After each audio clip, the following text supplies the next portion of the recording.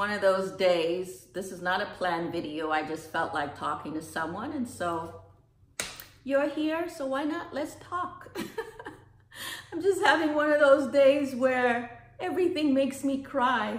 I don't know, maybe it's stress, maybe it's stress. You have those days where every little thing just makes you cry. I'm not angry and nothing bad has happened. I just get so emotional. Um, I don't know. I mean, if you know me, you're probably like, what's new? What's new, Habiba? You're always crying anyway. You cry at a drop of a hat. Like I literally can watch a commercial and if it's emotional, I will start crying. I'm that person. So I'm, I come down, I'm trying to take a snack or get a snack. I decide to watch a little YouTube and I watched a video of this girl who's having her baby or she's planning to deliver. She's planning to have her kid and uh, they're going to the hospital and you watch them go through the labor and delivery. And She had packed all these baskets uh, to go to the hospital and she lives, I guess she lives in Alabama, but she's packed all these large baskets with all these um, snacks and goodies and like cookies and, and, you know, lotions and just different little things that she packed in the basket for the nurses. She packed baskets for the uh, break room, for the staff. And I don't know, just that simple gesture just had me in my feelings and I just started crying. I just started crying like, how sweet, you know, how how adorable. And I know, I mean, I've worked in hospital settings all the time and anyway, it just touched me how, you know, here she is preparing to go in labor, preparing to bring in this new being into the world. And she took the time and effort to put together all of these little gifts for the staff that would be taking care of her. It's just these little touches. When people do things like that, I just think, wow, humanity is not lost.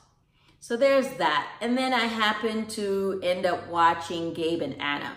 Now, I don't know if you guys know Gabe and Anna, but they're a young couple. I think she's from Tanzania. He's from Ghana. And um, anyway, they're expecting a new baby. And I wasn't even watching that, but they have a video that went viral a couple of years ago. It's got like over 4.5 million views. You should definitely watch it. If you ever want to cry, if you ever want to watch the most beautiful African Western wedding of two beautiful people, uh, the title of the video is The Crying Groom. You should look it up, The Crying Groom. It is so beautiful. So anyway, I have just been bawling, just literally bawling. And this is not the first time I've watched that video. But the point is, I thought about my own wedding. I thought about all the people, the guests that came. Um, I thought about all the effort my grandparents put into the wedding. Um, you know, they really did their best to make sure that I had a beautiful wedding. It was very expensive. I know that they spent a ton of money. It was a beautiful wedding. And then I was thinking, I want to watch my wedding again, and I cannot find the tape. And I started crying. I just started crying because I can't find the tape. And even if I found it, the truth is, even if I found that tape, it's a VHS, VHS, VHS, I can't even speak, VHS tape. Um, it's been so long, you know, I got married like over, shit, how long have I been married? Anyway, it's been over 25 years. And even if I found that tape, I would have to have it converted. But the point is, I can't find that tape. I haven't seen it in a while. Um, and then I thought, well, where's my wedding albums? Where are my wedding albums? I can't find them. And it's, I was about to curse, I'm sorry. I was about to curse and I know you guys are to come up here and go, here she is cursing because I always get these comments when people hear me curse. I'm sorry, I curse sometimes, but I don't know where my wedding albums are and um, I have you know, I have copies of certain pictures. They're, they're photocopies and they're not good, but I have wedding albums and I know they're in boxes somewhere. That's the con of moving. When you move, sometimes you misplace things. But I just wanted to look at my wedding album and I, I don't see it. Anyway, I don't know what's wrong with me. what is wrong with me? Nothing. Absolutely nothing. Um, and before you guys say, oh, menopause, it's menopause. No, it's not. I've always been this way. I've always been this way. Like, talk to me.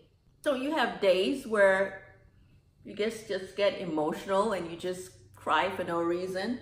On top of the fact that I know I'm the type of person that I need the sun, right? I absolutely need the sun because when it starts to, that's the only thing about fall is that in the fall, we don't get a lot of sun and you start to feel moody and you just start to feel down where it's not, you know, it's not quite the holidays, but it's not summer.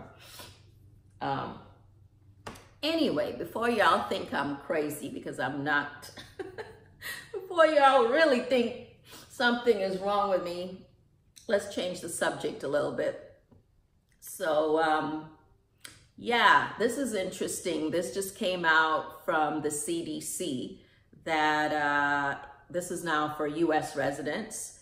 Um, uh, this is a report that just came out today, I believe, that there has been a lot of salmonella outbreaks. And I don't know, you guys might have heard about that. There have been a lot of salmonella outbreaks. But the recent salmonella outbreak has been tied to onions, specifically from Mexico.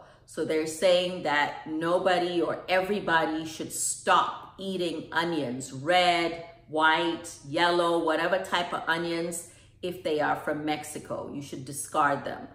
Um, I know, right? That sounds crazy. It just seems to me of recent, every five minutes, they are there's a salmonella outbreak. You really have to like pay attention and um, um, look out for where your food is coming from, which is why I digress, but which is why my fantasy has always been to have like a homestead where I'm self-sufficient, where I live on a house and there's enough land to grow my own food, to grow everything, because every five minutes there's a problem with the food source.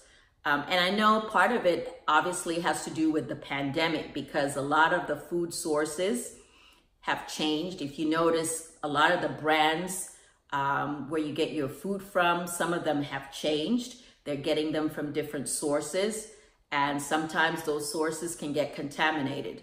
So uh, pay attention to the news, pay attention, and also make sure you're really washing your food and your vegetables.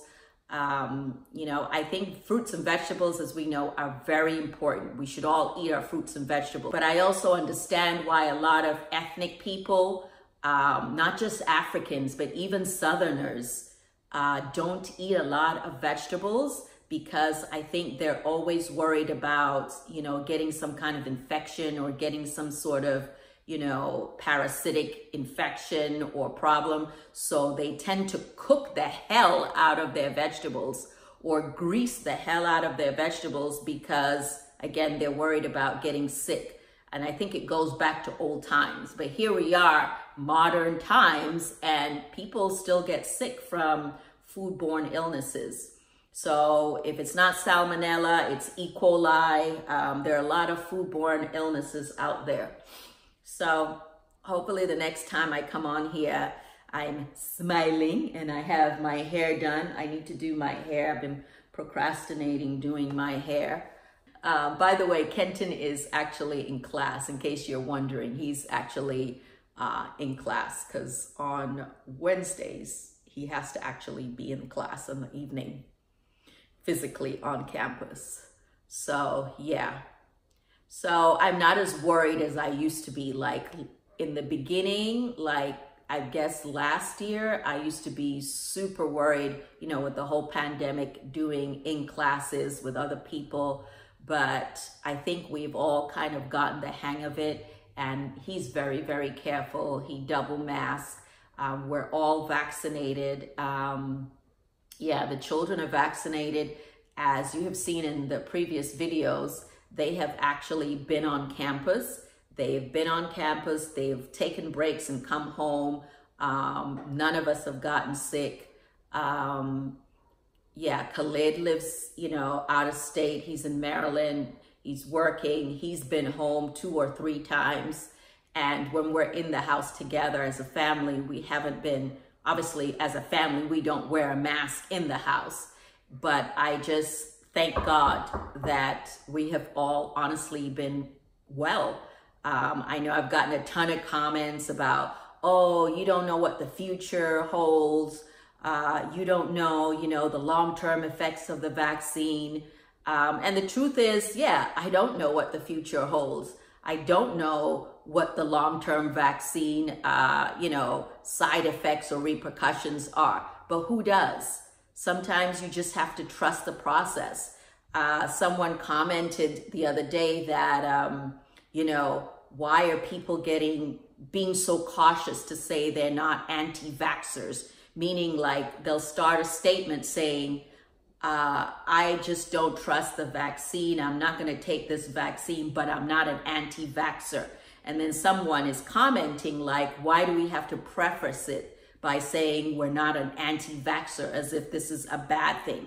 Well, I do believe saying you're an anti-vaxxer or that you're an anti-vaxxer in general is not necessarily the best thing or the thing to be proud of, in my opinion. But of course, I am a physician, so that's my point of view. Now, obviously, there are some who will disagree with me, but uh, the point is that I don't know how in today's age you could be an anti-vaxxer if you're living your life as a healthy individual and you were vaccinated against measles, mumps, rubella, chickenpox. These are all required vaccines. Uh, measles, mumps, rubella, chickenpox, tetanus. I mean, all of us have taken that, have we not? I'm pretty sure if you're watching this, you've taken that. So I don't know yet how people really could be in the pure sense anti-vaxxers. But I do know that there are people, little communities of people, even within the United States, who don't vaccinate their children, but they live in these little isolated communities uh, where they don't mix with people. And maybe it works for them for a while, but when those children go up, grow up and have to mix in society, that's another problem. That is a big problem. Um, I'm pretty sure those children will have to, or those children now adults will eventually have to be vaccinated. So I'm not telling you what to do with your life. I'm not telling you that you have to be vaccinated. That's your choice. Uh, it's up to you. But I am telling you that I am vaccinated, finally. Uh, I've been vaccinated, both, both vaccines. Uh, for those that were curious, I did not have any side effects. Uh, none of our children have. Kenton is fine. We're all doing well. And you know what? None of us really have 100% of the answers, but we're all trying to do the best we can to take care of our families and to take care of each other. So, um, and anyway, I don't know how I ended up on this tangent, but goodbye. I don't want to say too much more. Goodbye. Have a great evening or have a great night or have a great day whenever you're watching this.